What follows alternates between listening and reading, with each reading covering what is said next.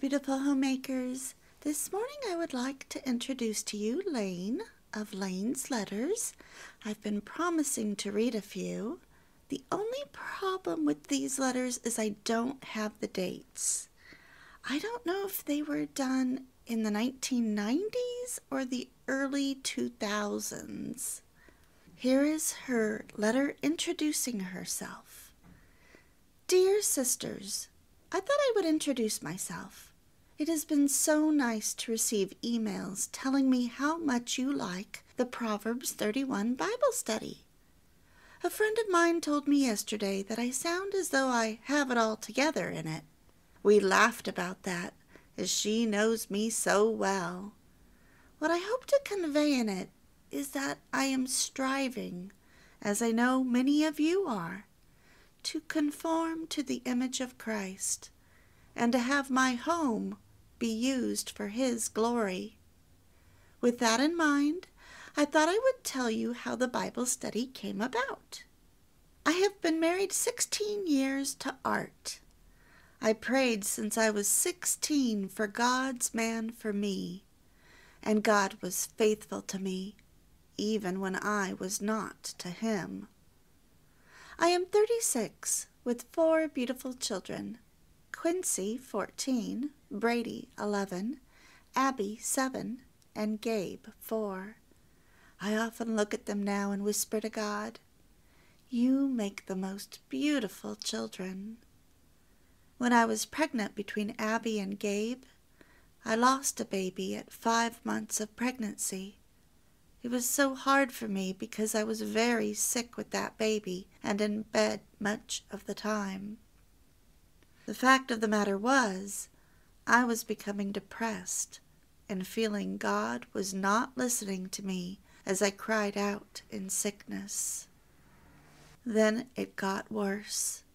My baby died inside of me without my knowledge of it for a while. I was his child, but I was spending more time reading through romance novels and watching soap operas and movies that I should not have. These were the words I was meditating on all day. I was spending no time in His Word except for opening my Bible in church on Sunday morning. I was a fearful woman who put her children first in her life. Most of my fears concerned them. In my fear, I was critical and frustrated, which caused me to yell at them a lot. My husband didn't know what to make of me and just tried to cope. We often had heated discussions. I felt as though everyone was sucking off me and they were sucking me dry. I got pregnant two months later with Gabe. Oh, I was so excited. He was born five weeks early but there was serious trouble two weeks later. Before I knew it, he had developed pneumonia and was in an oxygen tent in the hospital fighting to breathe and stay alive. The nurse who was assigned to us told us he couldn't keep up the striving to breathe as he was only four pounds and that his heart would give out. She was sorry, but she was so swamped with patients and would we call out to her when the heart monitor went off to signal his heart had stopped so that she could rush in to tend to him. I am trembling as I write this and trying not to cry. Well, I cried out to God as never before in that hospital room. He had taken a baby from me already and was now ready to take one I had seen and held.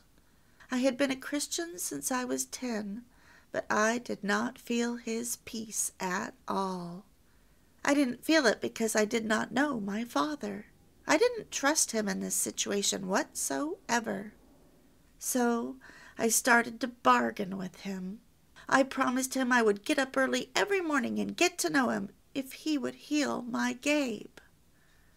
The heart monitor went off, signaling Gabe's heart had stopped and I rose to yell for the nurse at my husband's cry. I pleaded with God as I began to yell for the nurse. Gabe's heart started to beat again. My husband had been encouraging me to write a book on saving money on food, as I had a knack with that, and had spoken to many women about it. The heart monitor went off again with a penetrating, long, and loud buzz that sliced into the room.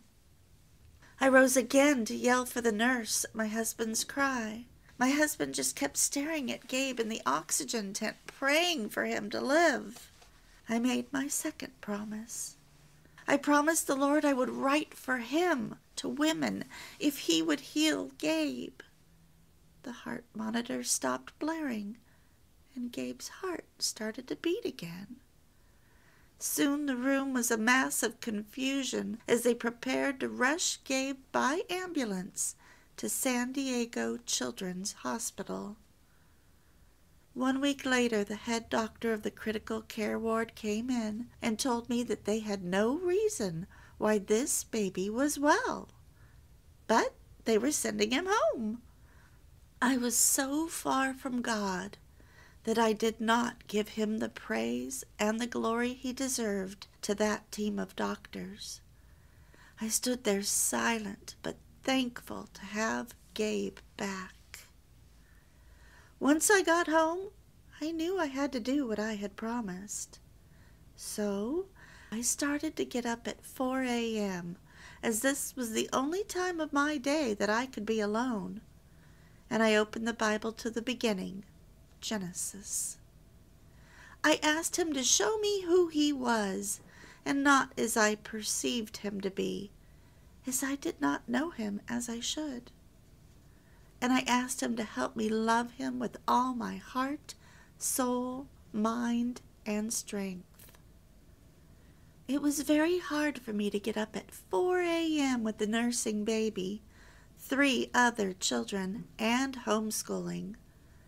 And I had always started to read the Bible before, but found it too time consuming and difficult to continue. But I feared God. So morning after morning I got up to be alone with him. Soon I was growing and finding out who God was and how much he loved me. I couldn't wait to get up and get into his word, and many times would get up at 3:30 a.m. to linger longer with him. That was 5 years ago this November and my whole life has been turned upside down with the joy and love and adoration that our great Heavenly Father brings to me, one of His chosen homemakers. I have more energy than I did before when I was sleeping longer. He multiplies my time. I liken this to tithing, as it seems you can never afford to tithe, and then after you start tithing, you can never afford to stop. Likewise, when you tithe your time to Him, giving Him the first part of your day daily. And this summer I have had the privilege of almost seeing completed the book that I promised to him almost five years ago.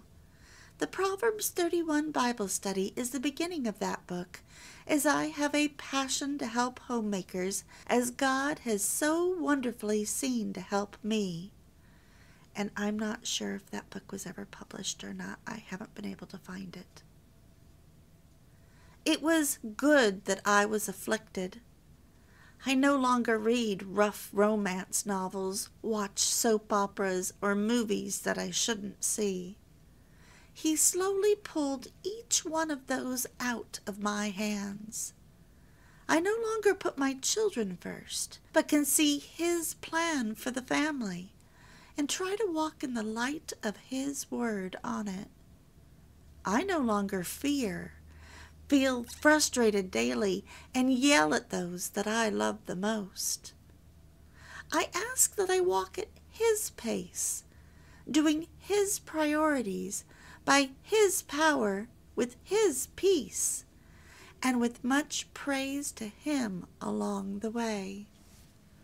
I ask that I might cling, cling, cling to Him, and that I never return to the state I was in before. Because I know that it is only through the power of His Holy Spirit that I have anything to share with you. And each morning I get up so excited to see what He will say to me in His beautiful, beautiful Word. And then I have the pleasure of conversing with Him as He speaks to me, intimate conversation in a holy kitchen. I can handle other words now so much better in my day because I have heard the Word first. My husband told me today that as I share with other women, he can see early morning lights on in kitchens all across America. It gave me goosebumps when he said that, as I know the strength a homemaker has who is sold out for God and clinging to Him. My husband gets up next when I am three quarters of the way through my Bible reading, and I have never looked at him with more love than I do now. God has given me new eyes to see him. He sits next to me and reads his Bible, which he never did before. My children get up after he leaves for work, and I cannot believe the change my behavior has had on them. My eldest son says the change in me caused him to start reading his Bible through every day for a year, recently accomplished. And then my servants, in quotation marks, get up and get going, which has had the most profound effect on my outlook concerning the running of my home. It was on the umpteenth time of reading through Proverbs 31 and trying to assimilate the wisdom taught there that he opened my eyes to see who my servants were. Crockpot, bread machine, washer, oven, sink, refrigerator, sewing machine, and many, many more. And then to get them going early in the morning after he has given me the living bread to meditate on all day long. I am still striving to be all that He wants me to be. I have not arrived. I still struggle. But as I see Him afresh and anew every morning, I see He has the power to do anything with anyone who is willing to let go and let Him have total control. It took me three readings of His Word to do that. Now I am His servant his slave, his daughter, and part of his glorious bride. I ask him to orchestrate my moments into a life of praise to him. May he shine, may he shine, may he shine, and may his servant Laine be forgotten, and may Jesus Christ be the fragrance remembered. I am his fingerprint, wanting, oh, so wanting, to leave his impression. With much love to you all, Laine. I love you, Lord, my strength. Psalm 18:1. And then I have an update to Laine's life. I don't have the exact date, but I'm thinking maybe it's 2004, 2005. And in it, she says she's now been married 24 years. So that means that she was probably writing in the late 1990s. It says, Dear sisters, Art and I have been married 24 years. So I think maybe she was married around 1981. We are in the process of adopting a baby from China. We hope to have her somewhere between October 2005 and January of 2006, God willing. Art is a welder, and I am a full time homemaker. We have homeschooled our children for 15 years now, and we have graduated our two oldest sons. We live on a modest income in Southern California, but by the grace of God, through much prayer and patient persistence, we became completely debt free in 2003, including our mortgage. Thank you, Lord. Quincy, our oldest son, is now 21 years old. He is going to Bible school full time, working as the freshman leader with 165 freshman kids at our church and teaching piano on the side. He recently came back from a semester of Bible school in Israel and is presently on a short missions trip to Swaziland, Africa, with his brother, planting gardens and the gospel. Quincy is my deep thinker and loves books by Oswald Chambers. He has a passion for the Lord and seems to be heading into the ministry. We enjoy Quincy so much. Brady is 18 years old. He attends both Bible school and a local community college. He also works full time in outside maintenance with a crew at our church. He leads worship weekly for the high school and occasionally for the college group by playing the guitar and singing. Brady visited his brother in Israel a couple of months ago, and he is now working with him in Swaziland for a brief time. Brady also has a passion for the Lord and was willing to quit his job if he had to in order to go to Swaziland to help the people there. Praise God he didn't have to. He would love to go into a music ministry. We enjoy Brady so much. Abby is now 14 years old. She is my mighty right arm. We really work so well together in our home. Not only that, but we have so much fun doing it. Abby is a freshman in high school, so she is one of the freshman kids that Quincy is in charge of at our church. We like that, and she does as well. Abby loves to bake, so she is baking something almost every day. Nothing lasts around here with four men in the house. Everything is eaten promptly, so she has very willing taste testers. She would love to go to a chef school some day, preferably in France, but we'd like her to go to Bible school first, and then we'll see from there. In the meantime, I continue to teach and train her the best that I can in all areas that I think will be of help to her in the future. We enjoy Abby so much. Gabe is 12 years old. He has an easygoing style and the funniest sense of humor. And this used to be my strong willed child. It was worth all the prayer and patient persistence we put in with him to see him so sweet natured now. Gabe is in the sixth grade and is my husband's right arm. Our older boys are so busy with work and school, so Gabe has taken up where they left off. He's always learning something from Art. He is also learning to play the drums on my father's vintage drum set. My father was a professional drummer, so it is exciting to see our son follow in his footsteps on his drums. Brady hopes Gabe will be part of his music ministry with him. We enjoy Gabe so much. I still get up at 4 a.m. every morning, as I have for the past 12 years, to seek the Lord in His Word and in prayer. It continues to be my favorite part of the day. Jesus is my strength, my song, my shield, and my salvation. Love, Laine. So if this was written around 2005, that means she started getting up early in the morning around 1993. And in May 2023, I wrote her a letter asking permission to read some of her letters on my YouTube channel. And she replied with a letter and said, I would be honored for you to read some of my letters. I hope they encourage those who listen.